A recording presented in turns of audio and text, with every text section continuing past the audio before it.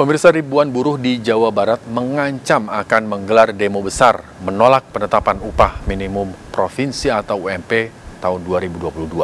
Penolakan terjadi setelah UMP Jawa Barat hanya naik 1,72 persen atau sekitar Rp31.000.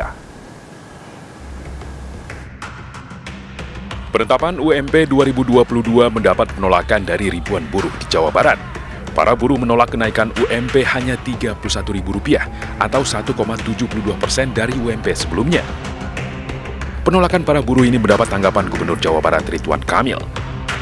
Kang Emil menegaskan pemerintah daerah selama ini telah mengikuti rumus perhitungan upah dari pemerintah pusat.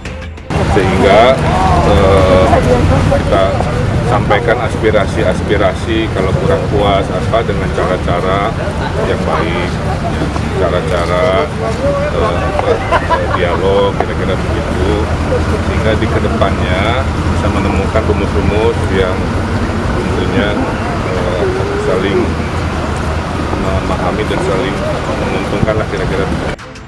Para buruh juga diminta untuk memahami kondisi ekonomi baik di daerah maupun nasional yang masih dalam tahap pemulihan dan belum membaik.